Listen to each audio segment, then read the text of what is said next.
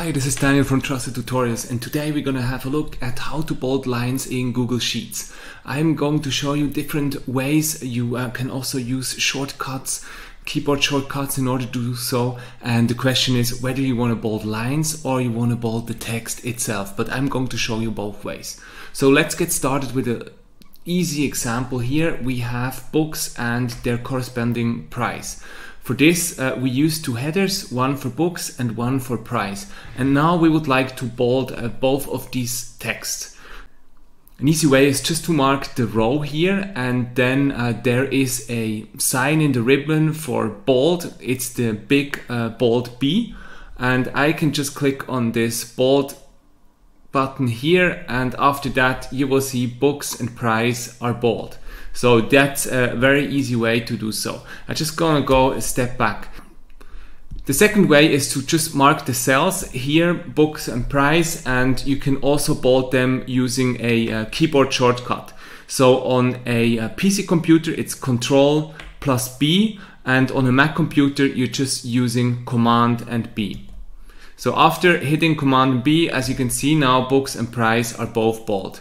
And on the uh, PC, you would just hit Control and C, you'd press uh, both together, and after that, everything is bold. I'm going to step back, and now I'm going to show you how you can bold the margins or the cells itself. So they have a nice bold outer border. For this purpose, again, we're going to mark both of these cells, our header cells, and then I go back into the ribbon and here we have a, a, border icon. Once I click on it, there's uh, different kind kinds of options, uh, what I would like to uh, bold or where I would like to have a border.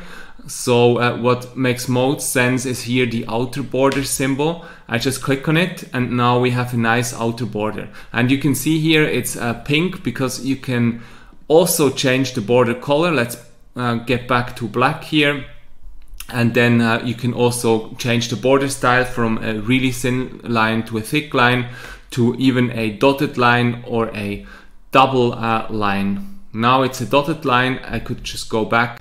Just gonna go a step back and show you because you can also change the um, style. Just right here, once I press that and I hit enter, now you can see there's uh, two lines around the um, border and uh, this is basically how you bold lines in Google Sheets. I really hope this tutorial was helpful. If so, please give it a like, follow our channel and also hit the notification bell. So you will always be notified when new videos come out. This was Daniel from Trusted Tutorials. Thank you so much for watching. See you again soon and goodbye. Bye bye.